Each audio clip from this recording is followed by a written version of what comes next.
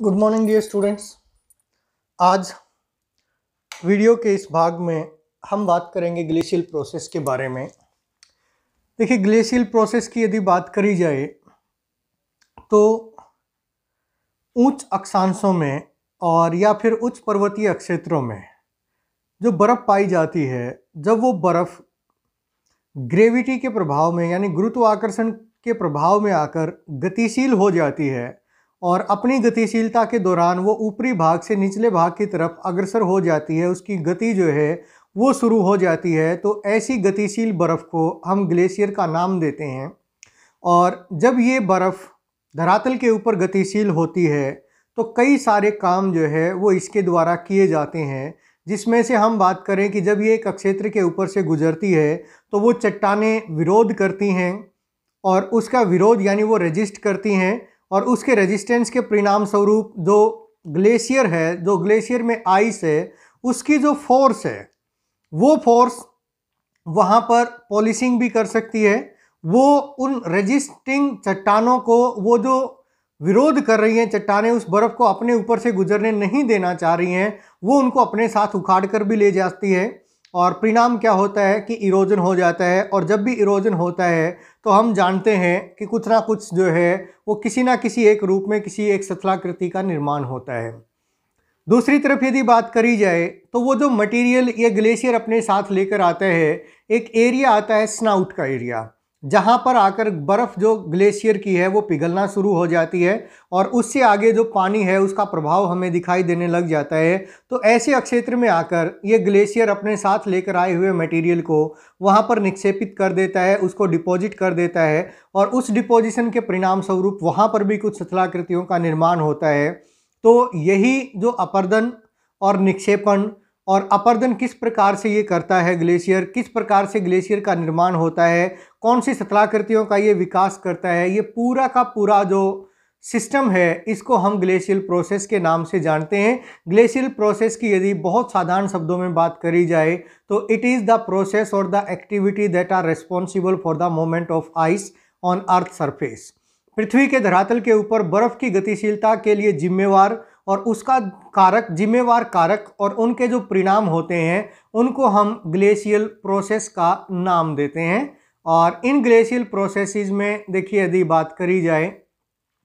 तो कुछ महत्वपूर्ण जो परिभाषाएँ हैं, वो यहाँ पर जो है, वो महत्वपूर्ण हो जाती हैं। जैसे हम बात करें कि हम यदि ग्लेशियर कहें तो ग्लेशियर क्या होता है? तो जैसा हमने बात करी अभी कि it is the moving ice mass down slope under the influence of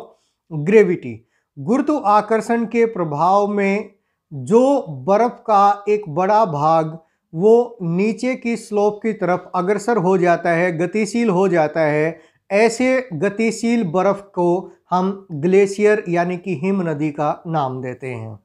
फिर यदि बात करी जाए स्नो लाइन की, कि स्नो लाइन ये कौन सी लाइन होती है? ये वो लाइन होती है जो बेसिकली दो चीज़ों के मध्य एक सीमा का निर्माण करती है, यानी इस लाइन से ऊपरी भाग में बर्फ़ ही बर्फ़ पाई जाएगी और इससे नीचे वाले भाग में बर्फ़ कुछ हद तक बर्फ़ और पानी दोनों का प्रभाव जो है वो देखने को मिलेगा। यानी अकुमुलेशन की यदि बात करी जाए आइस की तो वो हमेशा इस लाइन से ऊपर होती है और इसीलिए इसको कहा जाता है कि it is a zone between permanent and seasonal snow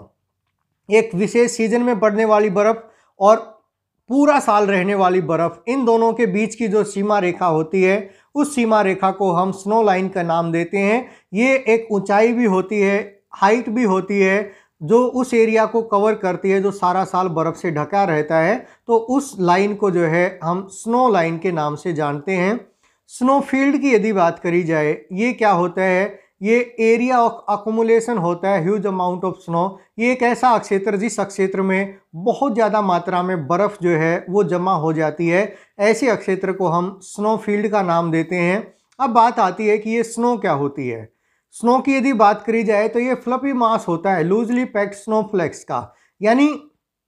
जो पानी आसमान से गिरता है, वो गिरता हुआ पानी यदि ठोस अवस्था में गिरता है और उसकी ठोस अवस्था में जिनको हम फ्लैक्स कहते हैं, वो जो टुकड़े गिरते हैं, यदि वो बहुत नरम होते हैं, स्लोप फ्लपी होते हैं तो ऐसी अवस्था में उनको स्नो का नाम जो है वो दिया जाता है। और यही बर्फ़ के टुकड़े जब बहुत ज़्यादा कठोर अवस्था में गिरते हैं तो इनको हम हेल स्टोन का नाम देते हैं। लेकिन जब ये बहुत मुलायम होते हैं तो ऐसे मुलायम अवस्था में गिरने वाला, जो ठोस अवस्था में गिरने वाला जो पानी है, उसको हम स्नो का नाम देते हैं। और इस स्नो का जो गिरना होता है, वो स्नोफॉल कहलाता है। ग्रेनुलर की यदि बात करी जाए तो ये सेमी कॉम्पैक्टेड स्नो होती है, यानी ये जो स्नो जो गिर जाती है, गिरने के बाद क्योंकि एक के ऊपर दूसरा फ्लैक लगातार जो है वो डिपॉजिट हो रहा है तो परिणाम स्वरूप ऊपर से भार में वृद्धि हो रही है, भार की वृद्धि जो है वो दबाव में वृद्धि करती है और परिणाम स्वरूप जो नीचे की बर्फ़ है वो थोड़ी सी कॉम्पैक्ट हो जाती है, वो थोड़ा सा जो है वो ठोस अवस्था में आना शुरू हो जाती है और ऐसी बर्फ़ को हम ग्रेनुलर का नाम देते हैं। फिर फन या नीव की बात करी जाए और जब ज़्यादा प्रेशर बढ़ने लग जाता है तो जो कॉम्पैक्शन का जो प्रोसेस है, वो कॉम्पैक्शन का प्रोसेस और स्ट्रेंथन हो जाता है और ऐसे स्ट्रेंथन जो स्नो होती है, उसको हम फन का नाम देते हैं। और फिर आइस की यदि बात करी जाए तो ये बहुत ही कॉम्पैक्टेड जो स्नो होती है, उसको हम जो है आइस का नाम देते हैं और यही गतिशील होती है। इसी आइस की गति जो है, वो मोमेंट हमें ग्लेशियर में को, के नाम से पुकारते हैं। फिर यदि बात करी जाए नरिशमेंट एरिया नरिशमेंट की जैसे हम जानते हैं कि पोषण वाला क्षेत्र होता है, पोषण किसका करना है? ग्लेशियर का या बर्फ़ का? तो इसमें देखिए, यदि बात करी जाए तो ये सॉलिड और हाईली कॉम्पैक्टेड स्नो जो होती है, वो नरिशमेंट एरिया कहलाता है और ये हाई अल्टीट्यूड्स होते हैं कोल्डर एरिया होते हैं। यहाँ इसकी विशेषता क्या होती है? यहाँ पर बर्फ़ के पिघलने की जो दर है उसकी तुलना में बर्फ़ के जो गिरने की दर है, यानी स्नो मेल्टिंग का जो रेट है, वो स्नोफॉल के रेट से बहुत कम पाया जाता है और परिणाम स्वरूप सारा साल बर्फ़ जो है, वो इस अक्षेत्र में जमा रहती है और ऐसे अक्षेत्र को हम नरिशमेंट एरिया का नाम देते हैं और यही नरिशमेंट एरिया हमारे ग्लेशियर की डेवलपमेंट जो है, उसमें सहायक होता है। यानी यहाँ पर गेन बहुत अधिक होता है, फिर वेस्टेज एरिया की बात करी जाए तो ये वो अक्षेत्र होता है, ये लोअर लेटीट्यूड का या फिर लोअर अल्टीट्यूड का एरिया होता है, ये वो अक्षेत्र होता है जहाँ पर बर्फ़ के पिघलने की जो दर है, वो बर्फ़ के गिरने की दर से अधिक पाई जाती है, यानी स्नो जो मेल्ट हो रही है उसका जो रेट है, वो स्नोफॉल के रेट से अधिक होता है और परिणाम स्वरूप इस एरिया में जो बर्फ़ है, वो सारा साल नहीं निक्षेपित पाई जाती और इसीलिए इसको वेस्टेज एरिया कहते हैं। ये स्नाउट का एरिया होता है जहाँ पर ग्लेशियर जो है, वो पिघलना शुरू हो जाते हैं। और फिर देखिए, यदि अब हम ग्लेशियर की बात करें तो जैसा हमने पढ़ा था कि ये मूविंग आइस होती है और आइस को हम पढ़ चुके हैं कि ये हाईली कॉम्पैक्टेड मास होता है स्नो का और ये जब ग्रेविटी के प्रभाव में या गुरुत्वाकर्षण के प्रभाव में डाउन स्लोप जब इसकी मोमेंट हो जाती है तो उसको हम ग्लेशियर का नाम देते हैं और पृथ्वी के धरातल का लगभग जो 10 प्रतिशत हिस्सा है ग्लोबल वाटर बजट में भी हमने जो है वो पढ़ा है कि 97 परसेंट जो है वो पानी समुद्र में पाया जाता है और इसके बाद जो बड़ा जो वाटर मास है वो 2.15 परसेंट जो है वो ग्लेशियर्स के रूप में जो है सॉलिड स्टेट में उच्च अक्षांशों के ऊपर और उच्च जो पर्वतीय क्षेत्र हैं, वहाँ पर ये पाया जाता है और ये पृथ्वी के लगभग 10 प्रतिशत भाग को जो है ये लैंडमास कवर करता है। और फिर यदि बात करी जाए तो ये they form due to accumulation of ice above snow line जो स्नो लाइन होती है, उससे ऊपर बर्फ़ के लगातार गिरते रहने की वजह से इन ग्लेशियर्स का जो है वो निर्माण होता है। और बहुत ग्रेजुअल जो ट्रांसफॉर्मेशन होती है, उसके द्वारा इन ग्लेशियर का निर्माण होता है। देखिए, जैसे हमने पढ़ा कि पहले तो जो है, वो स्नो जो है, वो गिरती है। ये स्नो जो है, ये स्नो गिरती है स्नो जो है, वो ग्रेनुलर स्नो में कन्वर्ट हो जाती है। यानी एक यहाँ पर स्नो गिरी, इसके ऊपर, फिर ऊपर ऊपर ऊपर ऊपर, और ये जो भार की वृद्धि है, वो दाब में वृद्धि करती है और उस दाब में वृद्धि के परिणाम स्वरूप जो है, इस अक्षेत्र में जो स्नो थी और इस अक्षेत्र की जो स्नो है, उन दोनों का जो कॉम्पैक्शन का जो लेवल है, यानी उसकी जो कठोरता है, उस कठोरता में अंतर आ जाता है क्योंकि यहाँ पर नीचे अक्षेत्र वाले क्षेत्र में अधिक दाब होने, दबाव होने की वजह से ये जो है अधिक सॉलिड हो जाती है ठोस हो जाती है और इसको हम ग्रेनुलर कहते हैं। ग्रेनुलर जो है वो बाद में कन्वर्ट हो जाता है फन में, यानी और ऊपर से बर्फ़ जो है वो गिरती रहे और दाब बढ़ता रहेगा। तो फिर ये और ज़्यादा कॉम्पेक्शन होता है इसमें और इसका ठोस जो है और ठोस अवस्था में, कठोर अवस्था में आ जाती है फन कहलाती है और फन जो है वो फाइनली कन्वर्ट हो जाती है ग्लेशियल आइस में। और ये जो ग्लेशियल आइस है यही ग्लेशियल आइस जो है, ये जो आइस डेवलप होती है, यही जो है, वो ग्रेविटी के प्रभाव में आकर डाउन स्लोप जो है, मूव करती है और ऐसी गतिशील बर्फ़ को हम नाम देते हैं ग्लेशियर या फिर हिम नदी का।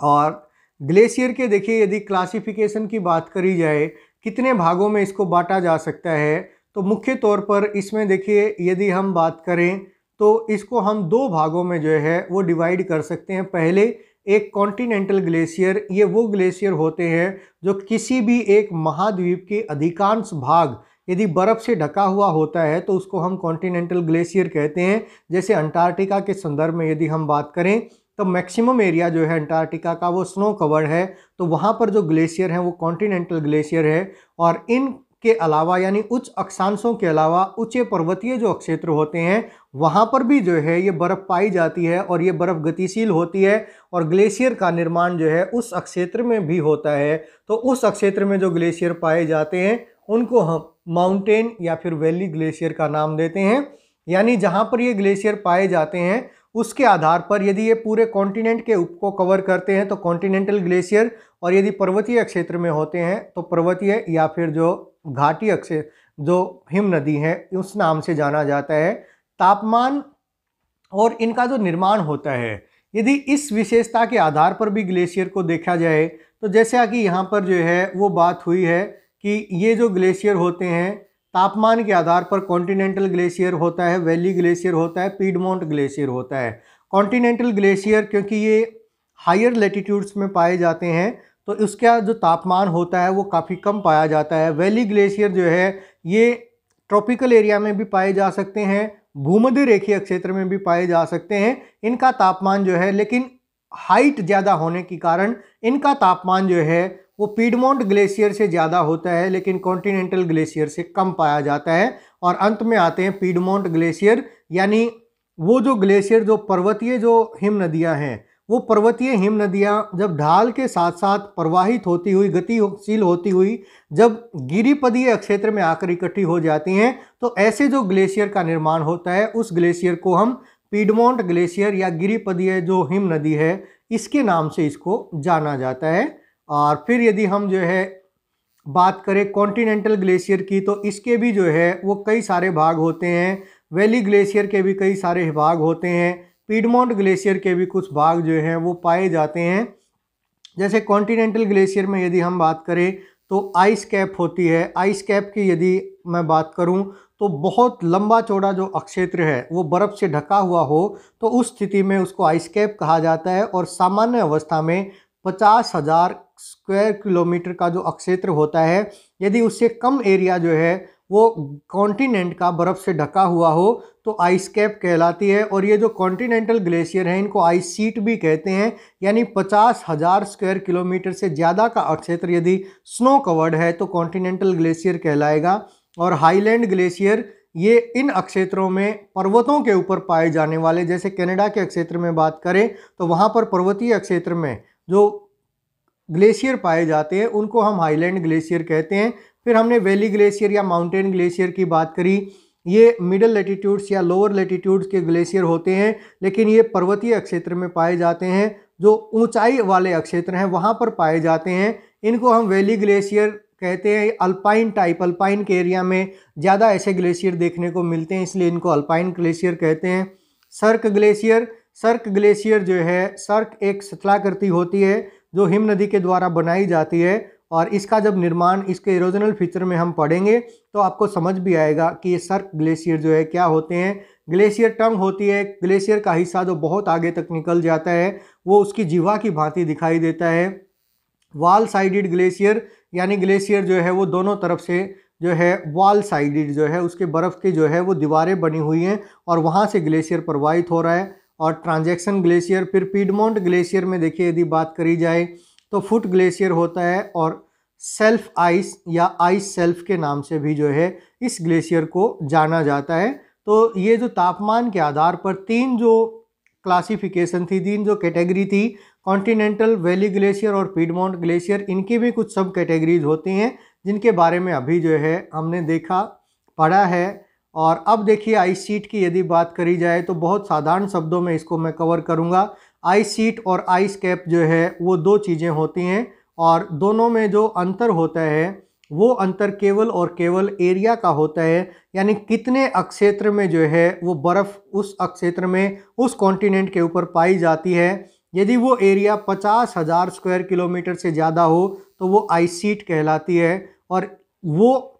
अक्षेत्र काफ़ी लंबा चौड़ा है, लेकिन उसकी जो अक्षेत्रफल है, वो पचास हज़ार स्क्वायर किलोमीटर से कम होता है। तो ऐसी अवस्था में उसको हम आइस कैप का नाम देते हैं और जो सेंट्रल पार्ट होता है आइस कैप का या फिर आइस सीट का, उसको आइस डोम के नाम से जो है, वो जाना जाता है। पृथ्वी के धरातल पर पाए जाने वाले ये सबसे बड़े जो हैं, वो ग्लेशियर होते हैं आइस सीट और आइस कैप फिर इसके बाद आकार में हम कॉन्टिनेंटल ग्लेशियर की बात करें तो ये बहुत एक्सटेंसिव जो है आइस सीट होती है और कॉन्टिनेंट का काफ़ी बड़ा हिस्सा ये कवर करते हैं। अंटार्कटिका की बात करें ग्रीनलैंड की बात करें तो इस एरिया में ये ग्लेशियर पाए जाते हैं। अंटार्कटिका की देखिए यदि बात करी जाए तो 400 मीटर के आसपास जो है वो थिकनेस है बर्फ़ की और 8 मिलियन जो स्क्वायर किलोमीटर है वो अक्षेत्र जो है वो बर्फ़ से ढका हुआ है। अंटार्कटिका का ग्रीनलैंड की बात करी जाए तो एक लाख तीस हज़ार जो स्क्वायर किलोमीटर का एरिया है, उस पर ये बर्फ़ का जो कवर है वो पाया जाता है और इसकी जो ऊंचाई है वो कुछ जगह पे जो है या इसके मध्य भाग में जो है लगभग 4500 मीटर, यानी जो आइस डोम का जो हिस्सा है वहाँ पर 4500 मीटर के करीब जो है इस बर्फ़, ये बर्फ़ पाई जाती है। माउंटेन या वैली ग्लेशियर की बात करी जाए तो ये वो एरिया, वो ग्लेशियर होते हैं जो पर्वतीय क्षेत्रों में पाए जाते हैं। और सामान्य तौर पर जो इनकी लेंथ की बात करी जाए तो कुछ किलोमीटर से लेके 2000 किलोमीटर तक जो है वो लंबाई पाई गई है इन ग्लेशियर्स की और स्नो लाइन से ऊपर जो है ये ग्लेशियर पाए जाते हैं।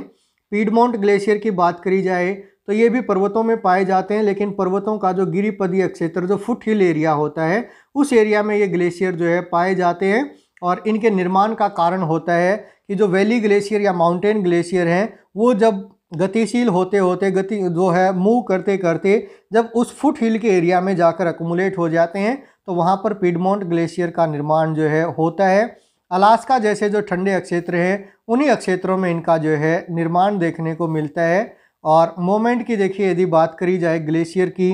तो तीन तरीके की इसकी गति होती है, इसकी मोमेंट देखने को मिलती है। एक स्लाइडिंग ओवर बेड रॉक जो चट्टाने हैं उन चट्टानों के ऊपर जो है स्लाइड करते हुए ये बर्फ़ जो है वो मूव कर सकती है। इंटरनल डिफॉर्मेशन से, यानी अपने अंदर की जो चीज़ें हैं, वहीं पे डिफॉर्म होते होते भी जो है, इसकी मोमेंट हो सकती है। और कंपेक्शन और extension compression extension compress compression extension compression extension इस रूप में भी जो है, ये बर्फ़ मूव कर सकती है। यानी ये हमारा एक स्लोप का एरिया है। तो ग्लेशियर इस स्लोप के एरिया के साथ स्लाइड करते हुए भी आ सकता है। अपने अंदर जो है, ये बर्फ़ टूटती रहती है तो उसके परिणाम स्वरूप भी गति हो सकती है और ये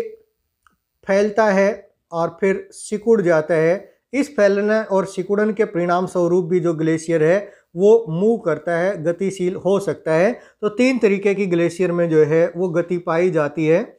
फॉरवर्ड जो मोमेंट होती है, यानी ग्लेशियर जब आगे बढ़ता है तो उसको हम एडवांसमेंट ऑफ़ ग्लेशियर के नाम से जानते हैं। और ग्लेशियर जब पीछे हटने लगते हैं, यानी बर्फ़ पिघलने लग जाती है, वेस्टेज एरिया बढ़ जाता है तो रिट्रीट ऑफ़ ग्लेशियर जो है, वो कहलाता है। जब भी नरिशमेंट एरिया में इंक्रीज होता है तो जो ग्लेशियर है, वो एडवांस करते हैं। और जब वेस्टेज एरिया में इंक्रीज होता है तो ग्लेशियर हमेशा जो है, वो रिट्रीट करते हैं। और ग्लेशियर जब पिघलना शुरू हो जाते हैं तो ऐसी अवस्था में हम उस ग्लेशियर को एब्लेशन ऑफ़ ग्लेशियर के नाम से पुकारते हैं। यानी ग्लेशियर का पिघलना, एब्लेशन, पीछे हटना रिट्रीट और उसका आगे बढ़ना एडवांसमेंट जो है वो कहलाता है। इरोजन की बात यदि हम करें, अब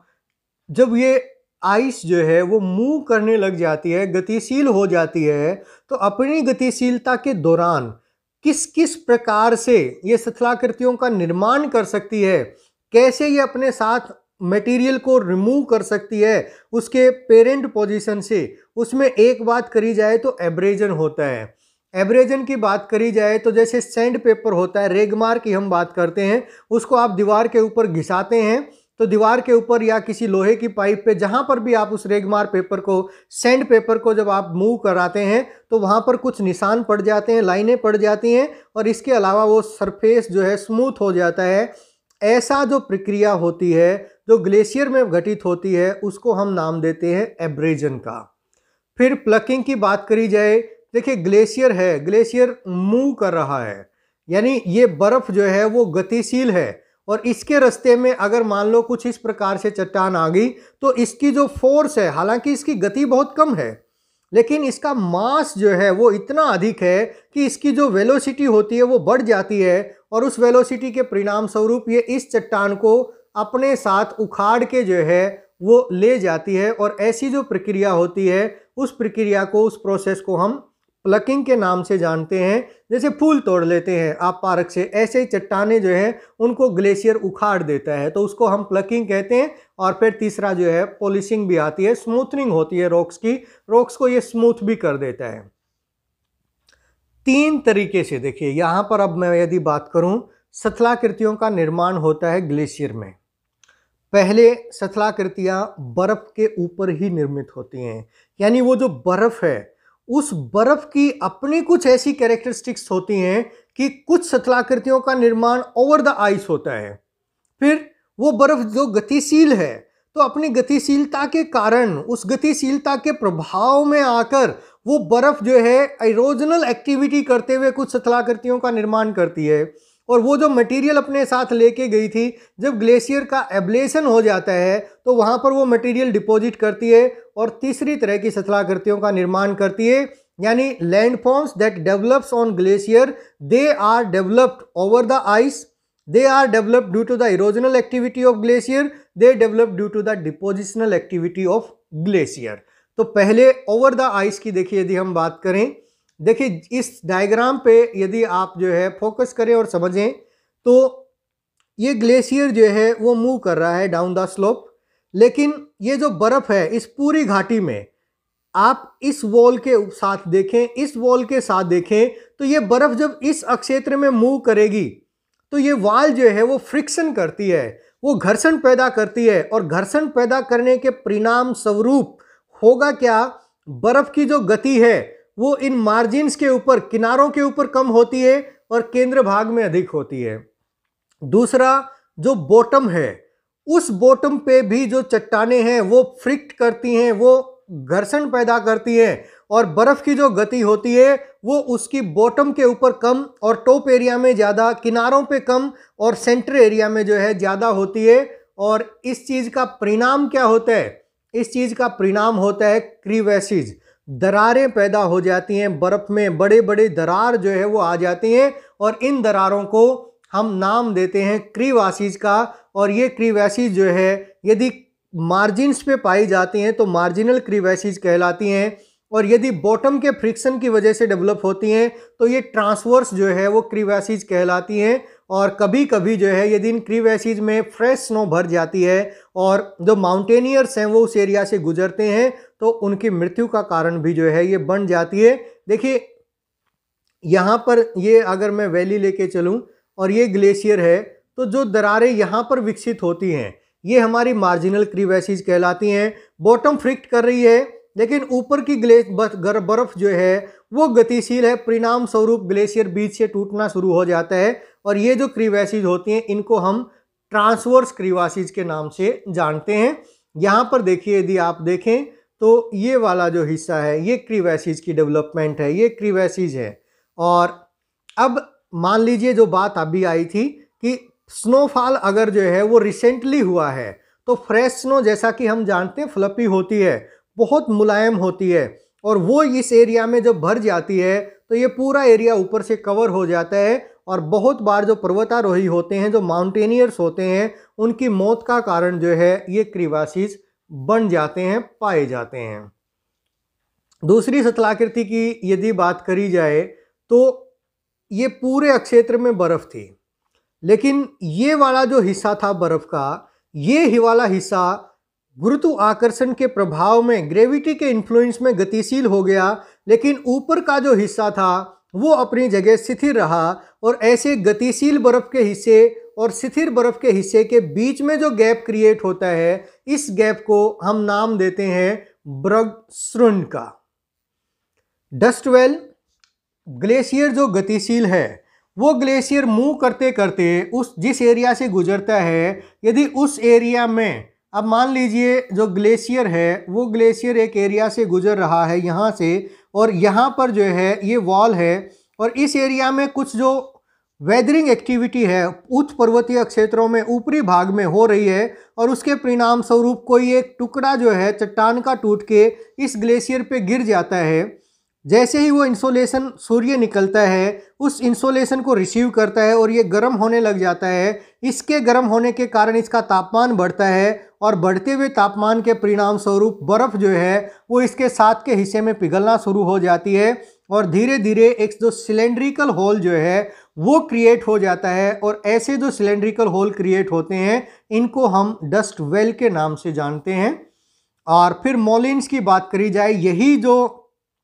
डस्ट वेल डेवलप हुए थे। यदि ये जो डस्ट वेल हैं, ये डस्ट वेल जो सब ग्लेशियल जो स्ट्रीम है, यानी ग्लेशियर के अंदर भी जो है एक पानी की धारा कई बार बहते हुए पाई जाती है, यदि ये जो डस्ट वेल है, ये डस्ट वेल इस सब ग्लेशियल स्ट्रीम के साथ जुड़ा हुआ है, इस वाले हिस्से के साथ जुड़ा हुआ है तो होता है तो इसको मोलिन के नाम से जो है वो जाना जाता है। और सिरेक्स की बात करी जाए, ये बर्फ़ के टुकड़े हैं और इन ये बर्फ़ के टुकड़े, वो जो गति में अंतर था, ग्लेशियर की किनारों के ऊपर और किनारों के साथ साथ जो उसके बॉटम एरिया में, उसकी वजह से ये कुछ इस प्रकार से जो है, वो बर्फ़ टूट जाती है ग्लेशियर में और ऐसे टूटे हुए इन बर्फ़ के टुकड़ों को हम नाम देते हैं सिरेक्स का। फिर ग्लेशियर टेबल एक बहुत बड़ा पत्थर जो है रोकफाल के रूप में या फिर जो फ्रोस्ट एक्शन होता है फ्रोस्ट सेटरिंग होती है, उसकी वजह से यदि किनारों से टूट के अब ये जो वैली में ग्लेशियर जो है वो मूव कर रहा है, लेकिन ये जो पीक एरिया है, इस पीक एरिया से टूट के कोई एक पत्थर का टुकड़ा ग्लेशियर पे गिर जाता है और ग्लेशियर के साथ वो गतिशील होते होते मूव करते करते एब्लेशन जहाँ ग्लेशियर का है, वहाँ पहुँच जाता है और जहाँ पर ग्लेशियर पिघल रहा है, लेकिन स्थिति क्या होती है कि ये जो बर्फ़, ये जो चट्टान का टुकड़ा है, ये इतना बड़ा है कि जो सूर्य की किरणें आ रही हैं, ये उन सूर्य की किरणों को नीचे नहीं पहुँचने देता और इसके नीचे की जो बर्फ़ है, वो बर्फ़ जमी हुई अवस्था में रहती है और उस अवस्था के परिणाम स्वरूप ये जो चट्टान का टुकड़ा है, ये एक मेज की भांति दिखाई देता है और ऐसी आकृति को हम ग्लेशियर टेबल के नाम से जानते हैं। तो ये कुछ शथलाकृतियाँ थी। जो शथलाकृतियाँ ग्लेशियर के अंतर्गत ही, यानी उस बर्फ़ के ऊपर ही निर्मित होती हैं। फिर यदि हम इरोजन की बात करें इरोजन यानी एब्रेजन और प्लकिंग एक्टिविटी जो ग्लेशियर के द्वारा करी जाती है, उसके कारण भी कुछ शथलाकृतियों का निर्माण होता है। और सबसे पहली जो शथलाकृति की हम बात करेंगे, सर्क। सर्क की देखिए, यदि बात करी जाए, जो सर्क ग्लेशियर की बात थी, यहाँ पर आप उसको समझिएगा। ये एक लैंडफॉर्म होती है जो माउंटेन एरिया में फ्रॉस्ट एक्शन की वजह से या निवेशन की वजह से डेवलप हो जाती है। यानी वेदरिंग के प्रभाव में आके जो चट्टाने हैं, उन चट्टानों में दरार आ जाती है। उन दरारों में जो पानी है, वो भर जाता है। बर्फ़ तापमान गिरता है, वो पानी जमता है। उसकी टेन परसेंट वॉल्यूम इंक्रीज होती है। और वो दरारें धीरे धीरे बड़ी होती हैं। उस एरिया से ग्लेशियर मूव करता है और मूव करता हुआ ग्लेशियर उन दरारों के पास जब पहुँचता है तो वो उस चट्टान को अपने साथ उखाड़ देता है और उसके उखाड़ने के परिणाम स्वरूप एक एम्फी थिएटर आकार की जो कुर्सी होती है, उस एम्फी थिएटर की जो कुर्सियाँ होती हैं उस कुर्सी के आकृति के समान एक सतलाकृति जो है निर्मित हो जाती है और ऐसी निर्मित सतलाकृति को हम सर्क के नाम से जानते हैं। इसका एक हिस्सा खुला होता है और तीन हिस्से जो हैं वो बंद पाए जाते हैं। और इस डायग्राम में देखिए, यदि आप देखें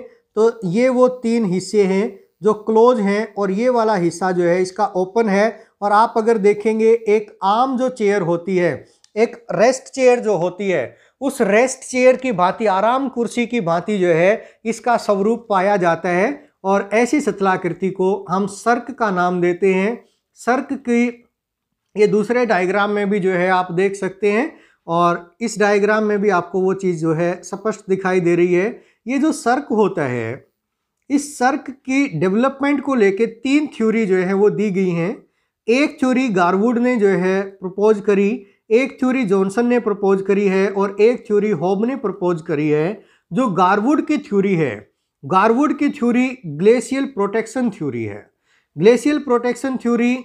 में ये कहते हैं कि जो फ्रोस्ट एक्शन है, यानी वो पाले का जो जमना है, जो फ्रोस्ट सेटिंग जिनकी वजह से होती है वेदरिंग में, अपक्षय में हमने पढ़ा था, उसकी वजह से जो है एक डिप्रेशन क्रिएट हो जाता है। और जब इंटरग्लेशियल पीरियड होते हैं जिस पीरियड में ग्लेशियर नहीं एग्जिस्ट करते तो इस दरार में वो पानी जो है, जो ग्लेशियर पिघलने की वजह से जो पानी प्रवाहित होता है, वो इरोजन करता है और वेदरिंग एक्टिविटी साथ साथ जो है, वो गतिशील होती है। वेदरिंग और वाटर इरोजन के परिणाम स्वरूप उस एरिया में सोइल क्रीपिंग हो जाती है और उस सोइल क्रीपिंग के परिणाम स्वरूप जो है, एक उस आम चेयर की भांति, उस रेस्ट चेयर की भांति एक सथलाकृति बन जाती है और बाद में जब ग्लेशियल पीरियड आता है तो उस एरिया में बर्फ़ जो है वो भर जाती है और वहाँ पर जो है सर्क का निर्माण जो है, ये गारवुड ने अपनी ग्लेशियल प्रोटेक्शन थ्योरी के अनुसार मानते हैं। ब्रक्सरन थ्योरी की बात करी जाए तो इसके जो प्रपोजर थे वो जॉनसन थे। जॉनसन का इन, कहना है कि जो मैकेनिकल डिसइंटीग्रेशन है ब्रक्सरन की हमने ऊपर बात करी थी कि एक स्टेबल आइस का एरिया था, एक मूविंग आइस का एरिया था, उसके बीच में एक गैप क्रिएट हो गया। इस गैप की रॉक्स जो है एक्सपोज हो गई। एक्सपोज रॉक्स के ऊपर जो है वेदरिंग एक्टिविटी हुई और उसके परिणाम स्वरूप यहाँ पर जो है एक डिप्रेशन क्रिएट हो गया और ये डिप्रेशन जो है वो धीरे धीरे जो जो इस ब्रुक्सरंड का साइज़ यानी ये मूविंग आइस जो है आगे बढ़ती रहेगी, इसका साइज़ बढ़ता है और ये बढ़ते हुए साइज़ में धीरे धीरे यहाँ पर जो है एक कोरी जैसा इसको जो है कोरी के नाम से भी जाना जाता है, सर्क को, उसकी डेवलपमेंट होती है। और फिर ग्लेशियल इरोजन थ्योरी जो है, ये होब के द्वारा प्रपोज करी गई थी। इस थ्योरी में होब का कहना है कि शुरुआती अवस्था में एक छोटा सा होलो क्रिएट होता है छोटा सा गड्ढा होता है। बाद में जो बर्फ़ है, ग्लेशियल इरोजन है, उसके परिणाम स्वरूप इसका आकार बढ़ता चला जाता है। और इसके आकार बढ़ने के साथ साथ इसकी जो बैक वॉल होती है वो बैक वॉल जो है, वो रिसीड करने लग जाती है और उसके रिसेशन के परिणाम स्वरूप जो है सर्क की कुछ इस प्रकार से जो है, वो डेवलपमेंट होती है। यानी ये जो बैक वॉल है, ये बैक वॉल रिसीड करती रहेगी और धीरे धीरे जो है, एक पूरा का पूरा जो सर्क है, उसकी डेवलपमेंट इस एरिया में हमें देखने को मिलती है। ये तीन थ्योरी हैं, जो सर्क को एक्सप्लेन करती हैं डेवलपमेंट को। और इस सर्क के एरिया में जो ग्लेशियर पाया जाता है, उसी ग्लेशियर को सर्क ग्लेशियर के नाम से भी जाना जाता है। फिर ये जो सर्क डेवलप हुआ था, इसका जो बॉटम पार्ट था, वो बॉटम पार्ट थोड़ा सा गहरा हो जाए और ग्लेशियर इस एरिया से रिट्रीट कर जाए और ग्लेशियर के रिट्रीट करने के बाद बर्फ़ जो पिघलेगी, उस पिघलने, बर्फ़ के पिघलने की वजह से जो पानी बना था, वो पानी जब उस बॉटम के डिप्रेशन पे इकट्ठा हो जाता है तो वो एक झील का निर्माण करता है और ऐसी झील को हम टार्न के नाम से जानते हैं। ये बेसिकली जो सर्क होता है, उसका बॉटम पार्ट होता है और उस बॉटम पार्ट पे ग्लेशियर पिघलने की वजह से जो झील निर्मित होती है, उसको टार्न का नाम दिया जाता है। फिर यदि हम हॉर्न की बात करें हॉर्न के संदर्भ में देखिए, आप ऐसे समझें कुछ इसको। एक सर्क जो है, इस एरिया में डेवलप हो रहा है, एक सर्क इस एरिया में डेवलप हो रहा है, एक पीछे वाले एरिया में, एक इस वाले एरिया में, यानी एक जो पर्वत की चोटी है उसके चारों तरफ़ सर्क की डेवलपमेंट होना शुरू हो जाए तो परिणाम क्या होता है कि ये जो बैक वॉल है, हर एक सर्क की, ये रिट्रीट करना शुरू करती है, पीछे हटती है, और पीछे हटने के कारण वो जो चोटी थी, वो चोटी एक नुकीली चोटी के रूप में परिवर्तित हो जाती है, और ऐसी नुकीली चोटी एक सींग की भांति दिखाई देती है, और ऐसी जो सथलाकृति निर्मित होती है उस सथलाकृति को हम हॉर्न के नाम से जानते हैं। और ये जो हॉर्न्स हैं, अगर एक साथ एक रिज के ऊपर एक रिज है और उस रिज पे ये दोनों तरफ़ सर्क डेवलप हो रहे हैं और इनके परिणाम स्वरूप बीच का जो एरिया है, उस पर कई सारे हॉर्न जो है एक साथ डेवलप हो जाते हैं। कुछ इस प्रकार से ये बाद में जो है, वो हमें दिखाई देता है। जैसे आप यहाँ पर भी देखेंगे तो ये एक कंघी की भांति जो है, वो प्रतीत होती है। कॉम्ब रिज इसको कहा जाता है और ऐसी ही कॉम्ब रिज को हम जो है एरेट के नाम से भी पुकारते हैं। यानी कई सारे जो हॉर्न्स हैं, जब वो एक सीरीज़ में डेवलप हो जाए एक रिज के ऊपर तो ऐसी रिज को हम कॉम्ब रिज या फिर उसको हम एरेट के नाम से पुकारते हैं। और कोल की फिर देखिए, यदि बात करें तो एक पर्वत है,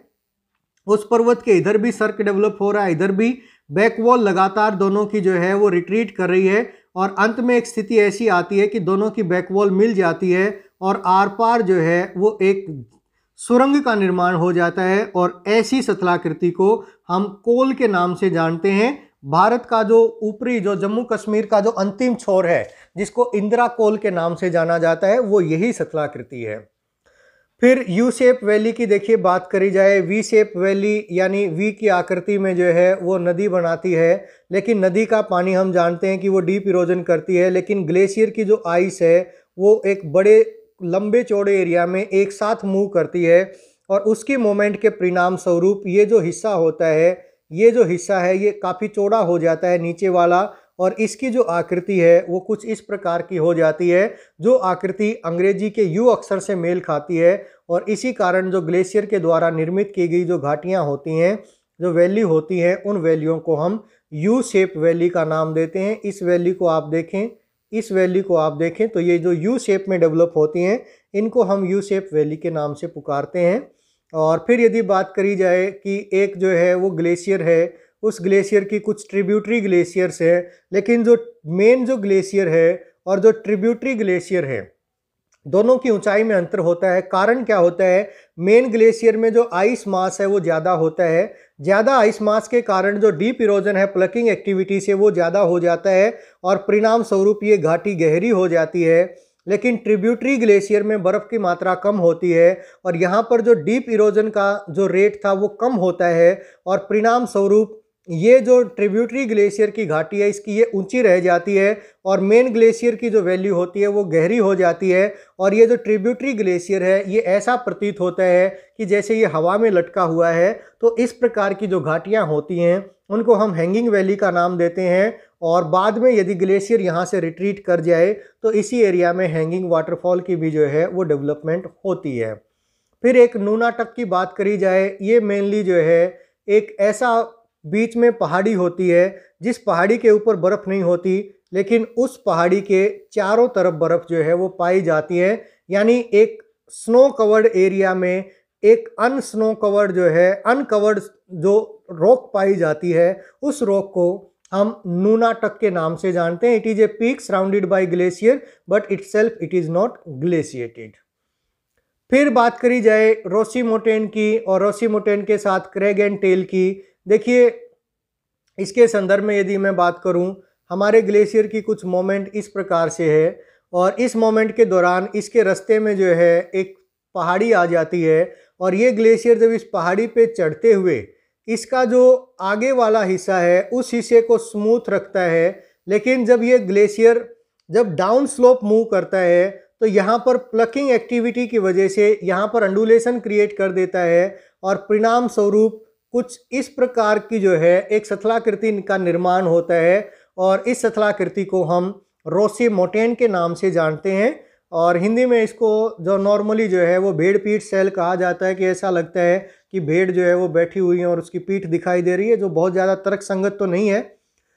लेकिन इसका जो सही नाम है, जो रियल नोमेन है, वो रोसे मोटेन है, यानी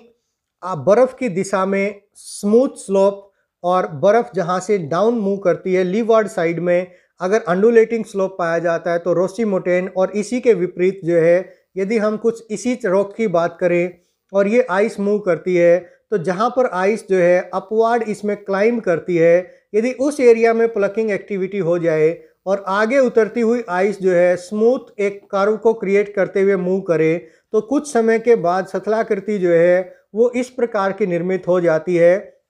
यानी एक तरफ़ तो क्रैग है और दूसरी तरफ़ की जो पहाड़ी थी, जो लीवोर्ड साइड में, उस वो एक्सटेंड हो जाती है और उस एक्सटेंशन जो है टेल की भांति दिखाई देता है। तो ऐसी सतलाकृति को हम क्रैग एंड टेल के नाम से जानते हैं। यहाँ पर देखिए, आप देखें तो ये रोशे मोटेन का एग्ज़ाम्पल है, ये ग्लेशियर की डायरेक्शन है और इस ग्लेशियर की डायरेक्शन में फिर ये क्रैग इस साइड डेवलप हुआ है। और दूसरी तरफ़ क्रैग एंड टेल की यदि हम बात करें तो ये ग्लेशियर की डायरेक्शन है। इस तरफ़ क्रैग है और ये टेल की डेवलपमेंट हो जाती है। तो ये दो सतलाकृतियाँ इरोजन की वजह से डेवलप होती हैं। फिर ग्लेशियल स्टेयरवेज जो रैपिड्स की डेवलपमेंट नदी के द्वारा करी जाती है सिप्रिकाएँ लेकिन ये जो सिप्रिकाएँ होती हैं, जब ग्लेशियर इनका निर्माण करता है तो इनका आकार बहुत बड़ा होता है और इसीलिए इनको जैंट स्टेट्स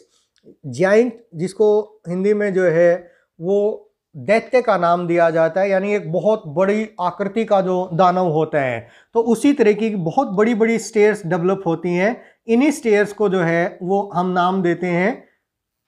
ग्लेशियल स्टेयरवेज का, और इन्हीं को साइक्लोपियन स्टेयरवेज भी कहते हैं। और ये जो स्टेयर डेवलप होती हैं, यदि इसका जो क्लिप है, उस क्लिप के साथ के एरिया में एक डिप्रेशन क्रिएट होता है, और उस डिप्रेशन में बाद में ग्लेशियर रिट्रीट करने के बाद पानी भर के एक झील निर्मित हो जाती है। ऐसी निर्मित झील को हम पेटनोस्टर लेक का नाम देते हैं। और फ्योर्ड की, और इससे पहले देखिए, फ्योर्ड से पहले यदि हम कुछ ऐसे समझें कि डिफरेंशियल इरोजन है। यानी कुछ ये हार्ड रॉक है, सॉफ्ट रॉक है, हार्ड रॉक है और फिर सॉफ्ट रॉक है। तो ग्लेशियर जब मूव करता है तो ग्लेशियर क्या करेगा? इस एरिया में एक डिप्रेशन क्रिएट कर देगा। ये एरिया फ्लैट रहेगा, फिर डिप्रेशन क्रिएट कर देगा। तो कुछ इतनी बड़ी बड़ी जो है, ये स्टेयरवेज डेवलप होती हैं। इनको साइक्लोपियन स्टेयरवेज या ग्लेशियर स्टेयरवेज कहा जाता है। और ये जो क्लिफ का एरिया है, इस क्लिफ के एरिया में यहाँ पे जो है, एक डिप्रेशन क्रिएट हो जाए और वो डिप्रेशन कुछ इस प्रकार का दिखाई देता है। तो इस डिप्रेशन में पानी भरने की वजह से जो झील निर्मित होती है, उस झील को हम पेट्रोस्टर लेक का नाम देते हैं। फ्योर्ड की बात करी जाए तो ये ग्लेशियर की वो घाटी होती है जो वर्तमान समय में समुद्र के अंदर जो है वो पाई जाती है, यानी बिलो द सी लेवल पाई जाती है। ऐसी घाटियाँ जो है नॉर्वे और स्वीडन के जो कोस्ट है, वहाँ पर बहुत सारी पाई जाती हैं। इनको फ्योर्ड्स का नाम दिया जाता है। ग्लेशिएटेड लेक ये हमारी उंगलियों की भांति आकार की, यदि झील जो है वो इरोजनल एक्टिविटी के द्वारा ग्लेशियर क्रिएट करता है तो उनको ग्लेशिएटेड लेक कहते हैं। ग्रेट लेक्स ऑफ़ यूएसए जो है, वो ग्लेशिएटेड लेक का एक एग्ज़ाम्पल है। ये जो है ये स्टेयर्स देखिए, यदि आप देखें तो इन्हीं स्टेयर्स को हम साइक्लोपियन स्टेयर या ग्लेशिएट टीड जो स्टेयरवेज है, उसका नाम देते हैं। और ये जो क्लिफ का एरिया है, इस एरिया में कुछ इस प्रकार से जो है, ये झील निर्मित हो जाती हैं। ये हमारी पेटनोस्टर लेक जो है, कहलाती हैं। और ये फिर यदि जो है, बात करी जाए, जैसे हमारी फिंगर होती हैं, उस फिंगर की शेप की जो झीलें होती हैं, इन झीलों को हम नाम देते हैं ग्लेशिएटेड लेक्स का। इसके अलावा भी आइसबर्ग, ये वो बर्फ़ का एक टुकड़ा होता है, बहुत बड़ा बर्फ़ का टुकड़ा,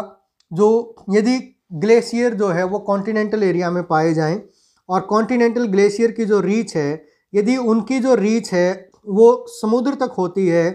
तो समुद्र का पानी जो फ्लोट करता है और ग्लेशियर जो है वो फॉरवर्ड करते करते अब ये कुछ इस प्रकार से हम मान के चलें कि यहाँ पर समुद्र है तो ग्लेशियर मूव करते करते जब इस एरिया में आ जाता है तो यहाँ पर जो लेयर्स की जो मूवमेंट है, जो ट्रबुलेंस है, उसकी वजह से ये बर्फ़ का एक टुकड़ा जो है वो टूट के अलग हो जाता है कुछ इस प्रकार से। और ऐसे तैरते हुए बर्फ़ के टुकड़ों को हम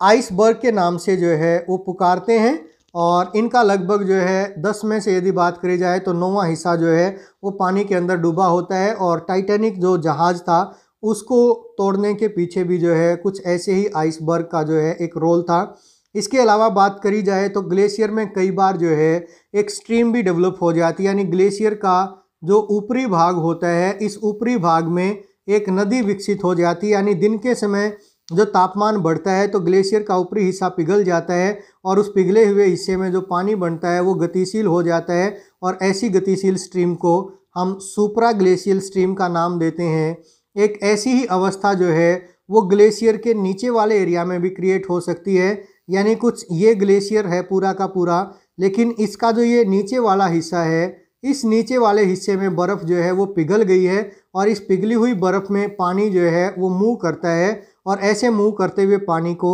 हम सब ग्लेशियल स्ट्रीम का नाम देते हैं और यही पानी जो है, वो जो मूव कर रहा था, ये कुछ इस प्रकार की जो केव्स हैं ग्लेशियल जो केव्स हैं, आइस केव्स की बात करें, उनका जो है निर्माण कर देता है और यही जो आइस केव्स हैं या फिर जो सब ग्लेशियल स्ट्रीम है, इनके साथ जो पानी जो है वो आता है, उस पानी के साथ जो सेडिमेंट होता है, यही सेडिमेंट का डिपोजिशन बाद में जो है एस्कर की डेवलपमेंट भी करता है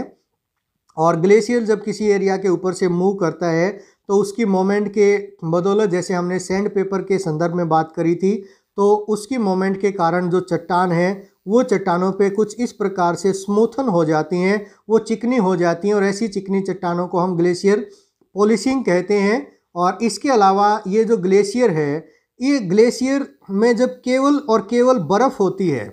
तो ऐसी अवस्था में ये पॉलिशिंग करते हैं। लेकिन इसकी बॉटम में यदि कुछ जो छोटे छोटे बर्फ़, जो चट्टानों के टुकड़े हैं, वो भी ग्लेशियर का हिस्सा बन जाते हैं तो ये मूव करता हुआ ग्लेशियर चट्टानों के ऊपर कुछ ऐसे स्टायरेशंस जो है वो क्रिएट कर देता है, जिसके बारे में वैगनर ने बात करी थी कि नटाल अफ्रीका के एरिया में स्टायरेशन, ब्राज़ील के पठार में, दक्षिण भारत के पठार पे जो है वो स्टायरेशन मिलते हैं और ये स्टायरेशन जो है वो ग्लेशियर ही डेवलप कर सकता है। तो वो जो चट्टानों के टुकड़े उस ग्लेशियर के साथ उस बर्फ़ में शामिल हो जाते हैं तो उनकी वजह से ऐसी जो है वो लाइन स्क्रैचेज डेवलप होते हैं और इन स्क्रैचेज को हम स्टायरेशन के नाम से जो है पुकारते हैं।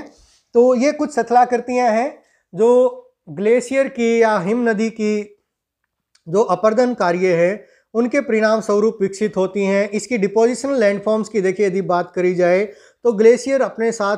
जब ग्लेशियर मूव होता है तो उस दौरान कुछ भी जो है वो डिपोजिशन नहीं होता है। डिपोजिशनल एक्टिविटी यदि होती है तो वो डिपोजिशनल एक्टिविटी तब होती है जब ग्लेशियर की बर्फ़ पिघल जाती है और उस बर्फ़ के साथ जो सेडिमेंट था वो उस एरिया में डिपॉजिट हो जाता है और ग्लेशियर के द्वारा डिपॉजिट किए गए जो मटेरियल होता है, उस मटेरियल को हम मोरेन के नाम से जो है वो जानते हैं। और इस मटेरियल की बात करी जाए तो ये बहुत ही अनस्टेटिफाइड मटेरियल होता है। इस मटेरियल में जो सिल्ट है उसके कणों से लेके बहुत बड़े बड़े पत्थर तक जो है वो शामिल होते हैं और यही मोरेन का जो डिपोजिशन है वो कई सारी सथलाकृतियों का निर्माण करता है। इसमें यदि हम बात करें तो इसको ड्रिफ्ट के नाम से भी जाना जाता है और अनस्टेटिफाइड जो ड्रिफ्ट का डिपोजिशन होता है उसको हम टिल कहते हैं, यानी ग्लेशियर की जो बर्फ़ थी, उसकी वजह से उसके साथ जो स्ट्रीम, जो उसके साथ जो मटेरियल था वो मटेरियल जब यूँ का यूँ डिपॉजिट हो गया तो अनस्टेटिफाइड होता है और ऐसे अनस्टेटिफाइड मटेरियल को हम टिल कहते हैं मोरेन भी उसको कहा जाता है और उसका जो डिपोजिशन होता है वो कुछ सतलाकृतियों को निर्मित करता है। लेकिन यही मटेरियल जो है, जो ग्लेशियल स्ट्रीम होती हैं, उन स्ट्रीम के द्वारा स्ट्रेटिफाई भी कर दिया जाता है और कुछ अन्य सतलाकृतियाँ जो निर्मित होती हैं उनमें जो है ये मटेरियल स्टेटिफाइड रूप में भी पाया जाता है, क्योंकि पानी जो है वो सीविंग का काम करता है स्टेटिफाई कर देता है मटेरियल को। तो दो तरीके से जो है वो डिपोजिशनल लैंडफॉर्म डेवलप होती हैं, एक अनस्टेटिफाइड मटेरियल के डिपोजिशन से और एक स्टेटिफिकेशन से। स्टेटिफाइड मटेरियल के डिपोजिशन से जो स्थलाकृतियाँ बनती हैं, उन सथलाकृतियों को हम ग्लेशियो फ्लूवियल लैंडफॉर्म्स के नाम से जानते हैं, लेकिन अनस्टेटिफाइड मटेरियल के डिपोजिशन से जो स्थलाकृतियाँ निर्मित होती हैं, उन सथलाकृतियों को हम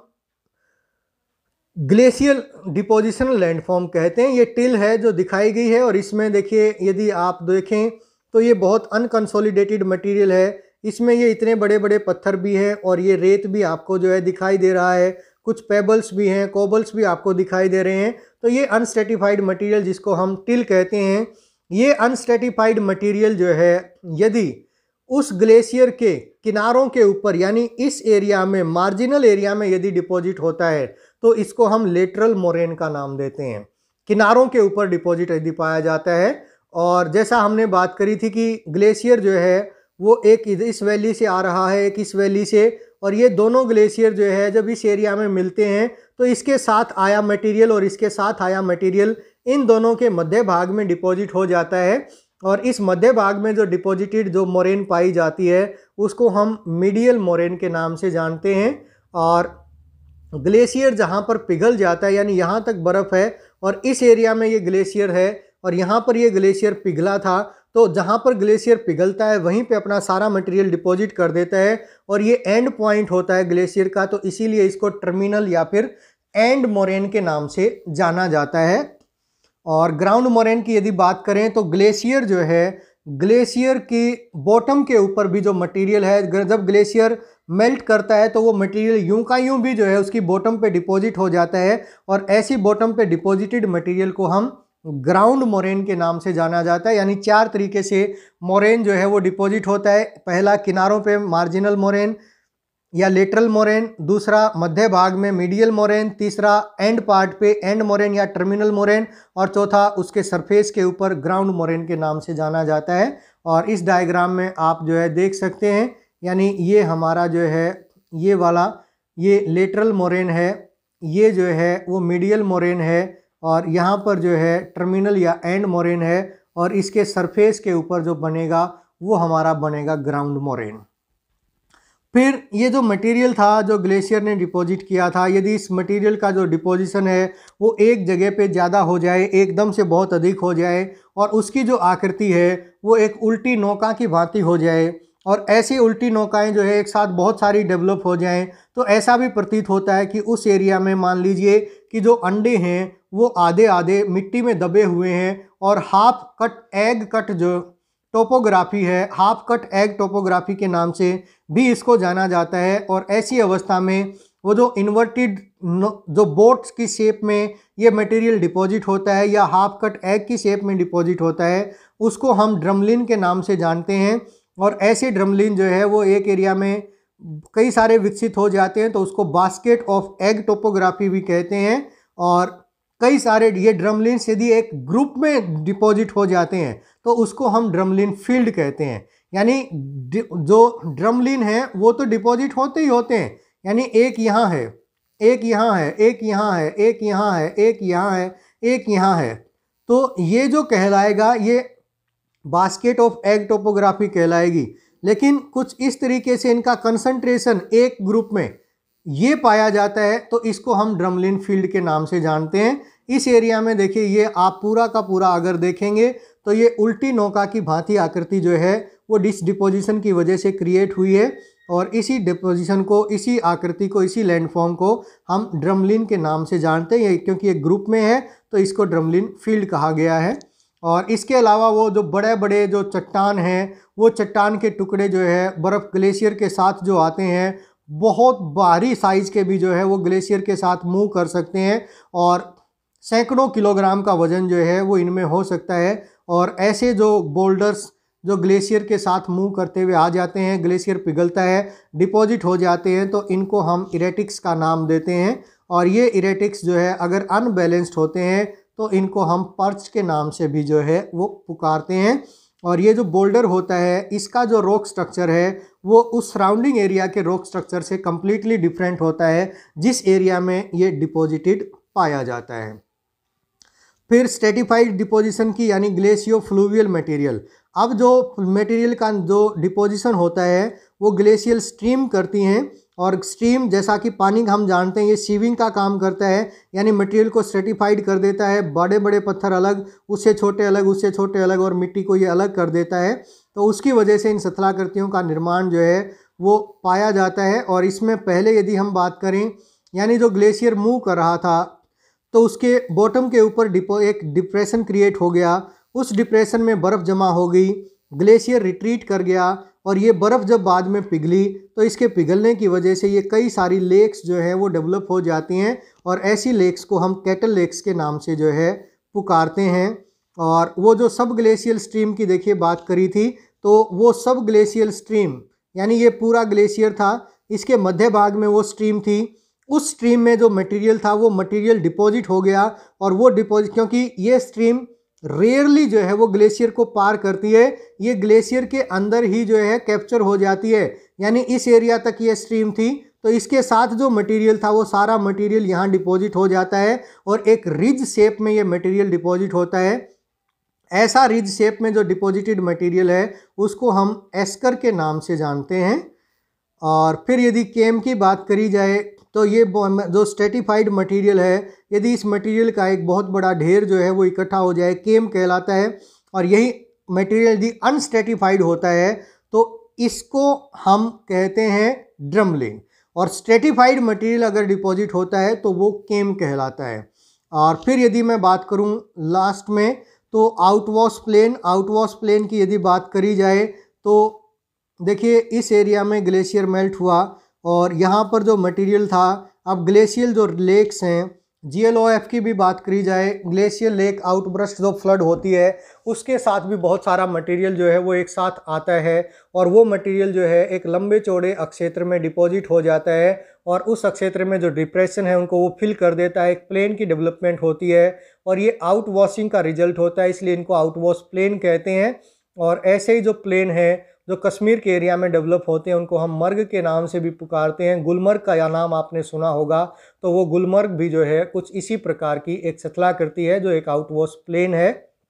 और ग्लेशियर में हमारा जो डिस्कशन है, वो यहीं तक है। और उम्मीद है कि ग्लेशियल का जो प्रोसेस है, उसकी जो इरोजनल डिपोजिशनल जो एक्टिविटीज़ हैं, और उसके द्वारा जो निर्मित सतलाकृतियाँ हैं, ये बहुत हद तक आप जो है, वो आपके समझ में आ जाएँगी। ना आए तो आप बेझिझक जो है, वो कमेंट सेक्शन में सवाल हमारे से पूछ सकते हैं। कुछ साथी जो है, वो मुझे ऐसा प्रतीत हो रहा है कि वो लास्ट में जब